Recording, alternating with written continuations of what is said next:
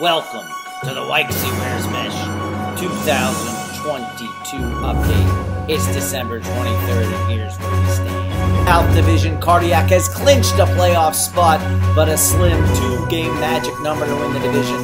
The bottom feeders a close second, and right behind them, Cath with more points would win a tie. The pessimists are leading with the Heath bars, and the pessimists can't take the number one spot. Here's your league's leaders Patrick Mahomes with more touchdown passes than any player with 35. But Jalen Hurts with his 13 rushing touchdowns has the most. Jamaal Williams, the most rushing touchdowns. But he is tied with Austin Ekeler with the most touchdowns in the league. Wide receiver Davante Adams with the lead in touchdown catches, but tied with Kelce with 12. The leading kicker Tyler The game of the week just married, playing the Heath Bars with playoff implications.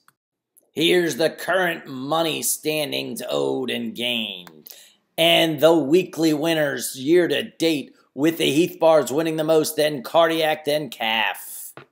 And with no money earned, it is the nose. Stay tuned next week where the playoffs get tighter.